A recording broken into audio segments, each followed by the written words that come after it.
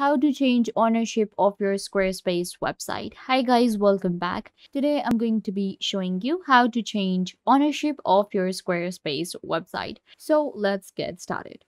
First, what you have to do is you will have to open up your Squarespace and once you're here on your Squarespace, you will simply get all of these different options here. So you need to go to settings and then we will find the permissions right here. Uh, this will allow us to actually change few of the different uh, information about our website and change ownership of our website that we're creating on Squarespace. So you will find right here, now you will get your uh, email address right here. And then we have our owner. So this is the person who has full access to this website. Now, if I want to add any contributors to my website or actually add a basic author, then I can just click right here and it will allow me to add a basic author and I will be able to add their name. You just have to add right here their name, first name, last name, and their uh, .com and bio as well. This is going to be a basic author and then we can go with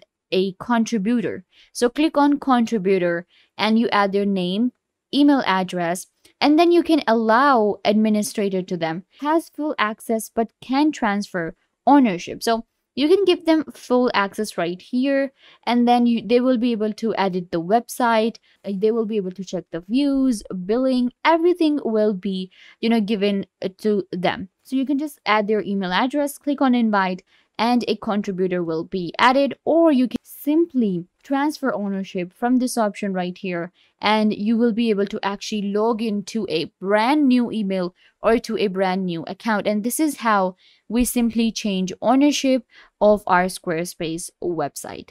I hope that I was a big help. Don't forget to give this video a big thumbs up and subscribe to the YouTube channel.